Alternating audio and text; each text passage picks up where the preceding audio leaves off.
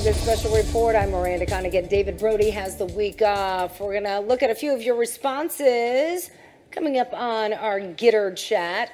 Hell Bill says, I like this new lineup. Thank you, and we like you.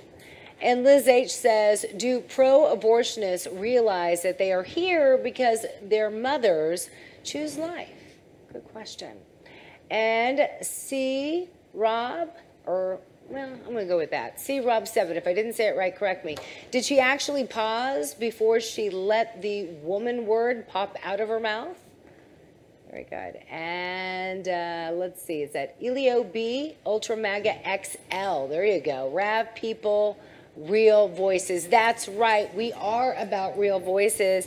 Speaking of which, uh, our network is about you. That's why it's called Real America's Voice. So we want to show off your beautiful faces and your beautiful voices. So in order to do that, we need your help. You need to submit some videos. Uh, you can do that by following us and joining the RAV family at GETTR. The question we are asking is, what does America need to do to get on track? So let your voice be heard. We'd love to hear from you. All right.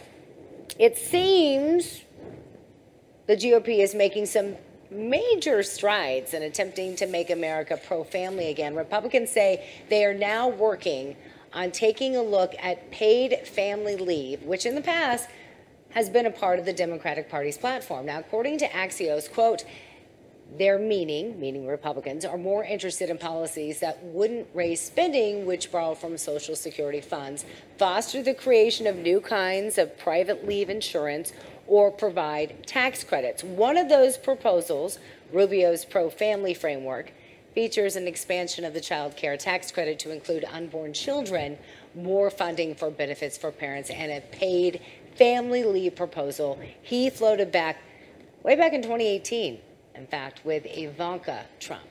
Uh, this is especially timely now, obviously, that Roe v. Wade was just overturned. Back with us once again, Turning Point USA contributor, host of Freedom Papers, Morgan Zegers, CEO and founder of Stock Swoosh, Melissa Armo, and consultant Caroline Winchester. Ladies, thank you for sticking around. So, dying to know your thoughts about this. Uh, Melissa, you have been smiling, so uh, are you happy? Does this make you happy? I think it's a great idea. I'm, I'm not sure why they didn't get this done during the Trump administration, but they should have had this for a long, long, long time. They should have it for men. They should have it for women. They should have it for mothers or fathers, um, and and maybe something will actually get done. What do you What do you think, Caroline? I see you like nodding your head there. I mean, eh, we're we're seeing, uh, especially that it's harder than ever. It seems for a big family, at least in Joe Biden's inflated economy, uh, could this possibly allow for bigger families to exist? Because according to recent stats, the birth rate in the U.S. just declined by 4%. That's its lowest point ever. So could this kind of help be a solution there? Yeah, you know, I feel like it's time for the the RNC and conservatives, the GOP. I think we got to put our money where our mouth is. And for years, we've been saying we got to appeal Roe v. Wade. We want to encourage people to have big families. I think that the big thing on social media recently has been be rebellious, have a lot of kids, raise them right. This is how we defeat the enemy. And I think in order to do that, um, I look at so many of my girlfriends, they and their husbands, they're, they're starting families and they're like, oh, is now a good time? Groceries are so expensive. We'll have to get a new car. We can't find a new right. car. Yeah. Got to stay in the workforce. And I think if there was an opportunity for women to feel like they were valued in their jobs and that they could take the time off to have their babies and enjoy that time with them, that bonding time for mothers and fathers, and then go back to work, I think young women would be so much more inclined to have a family, have more than one child, more than two, yeah. because it, it takes some of that pressure away. So, Morgan, are you thinking about having a child now? Speaking of young uh, women right now, hearing that from Caroline, she's like, wait, don't rush me, don't rush me.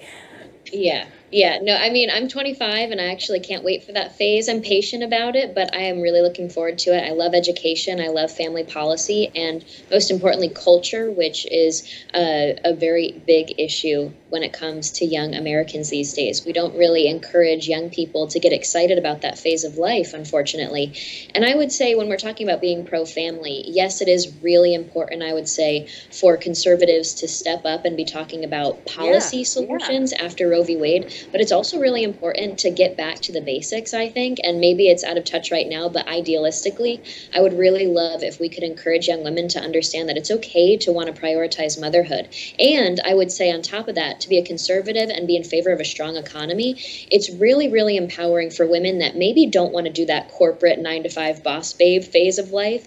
Maybe they want to be a family woman and have a lot of kids and be more at home, but have a side job or have a contract kind or of have job. some flexibility and, be able to Yeah, do all of it. You know, women do have, you know, unfortunately, they, they have a, a deadline when it Mm-hmm. comes to that, that guys don't face and, and women that that's a constant struggle that a lot of women deal with you know can i be a good mom? Can i be a good employee? Can i be a good wife? And then they feel like and i've got to figure all of this out by x amount of age because well my eggs are getting old. And if they feel like maybe they get some support maybe that will that will help right Yeah, I would say to our modern economy, it empowers women to be able to have more flexible options. I mean, you don't have to just stay home and be in the kitchen like the, the leftists try to tell you that's what conservative although want. i like being in the kitchen but i hear you I, know what you meant I personally love it, but I get that other people want to be more involved in the economy. They want to be and have a job. And thankfully, now with a strong American capitalist economy, we're able to do those things. But like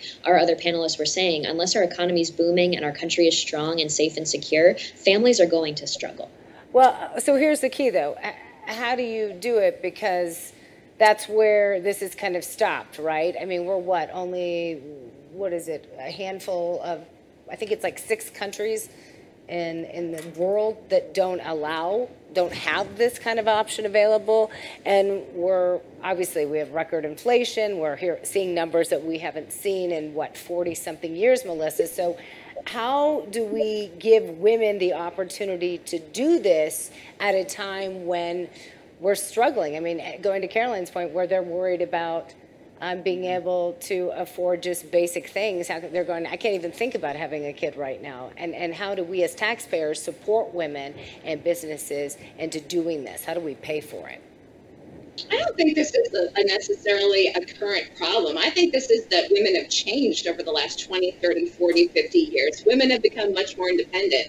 Like when my mother, you know, was was raising us, she was a stay-at-home mom.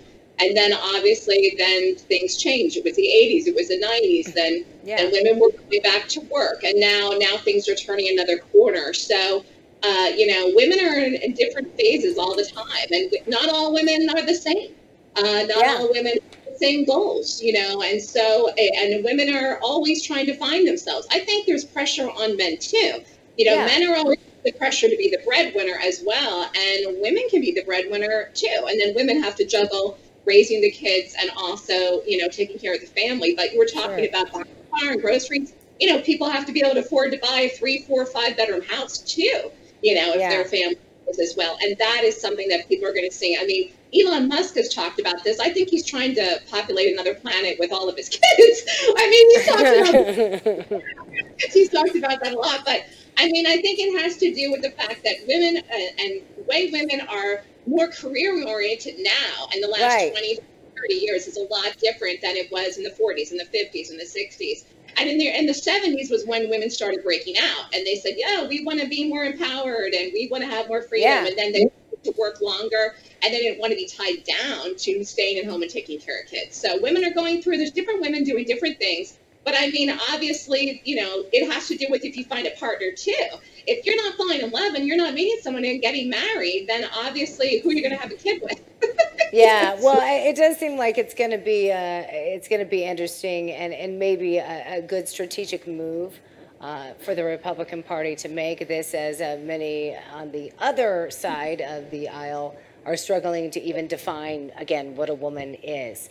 Uh, but I do appreciate you women uh, joining us here on this special report. Uh, loved hearing your voices. Please share with us again. Appreciate it. Thank you. Thank, you. Thank you. Uh, and again, for real Americans that are watching right now, weigh in. Let us know your thoughts.